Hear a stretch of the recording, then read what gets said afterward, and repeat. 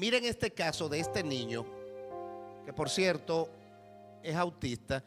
Eh, antes de ponerlo, quiero Autista, decir, el autista niño, no, Iván. eh, De espectro de autismo. Bien, de espectro Un autista. nivel muy bajo.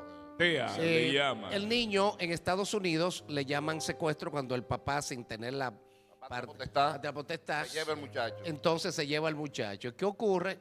Eh, pasó eso, lo que le llaman un secuestro. Había sido secuestrado, pero la madre tuvo comunicación con el niño y lo manejó de una manera muy inteligente. Pero miren, miren como aquí, yo quiero poner el recibimiento, por favor, si me lo pueden poner cuando el niño corre hacia ella.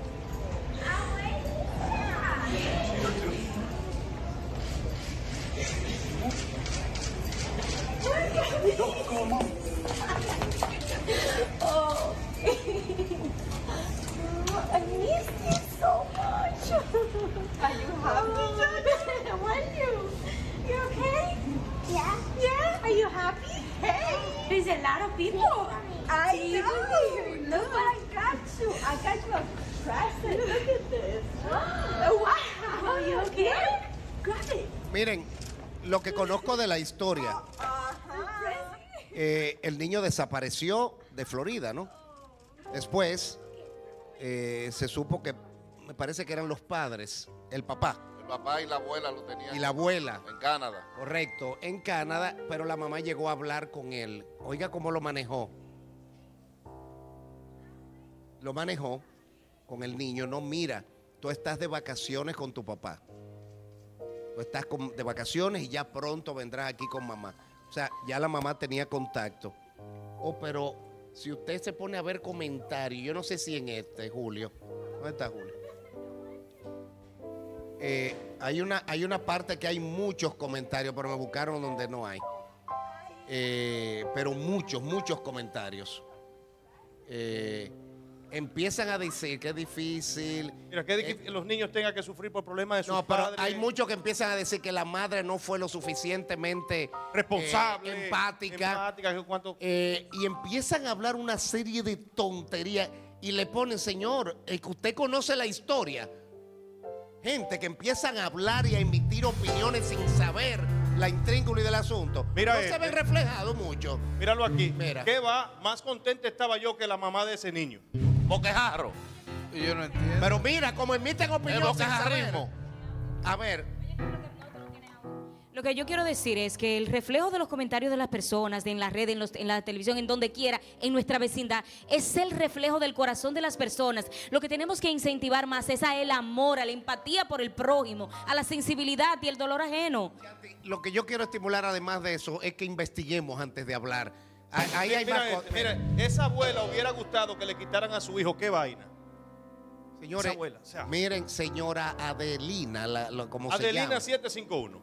Sigue buscando para que tú veas. Sí. Una gran. Y le decían, ustedes conocen la historia. Y habían gente que le explicaban. Precisamente, Es míralo que aquí. no leen, Mira, Iván. míralo aquí. ahí.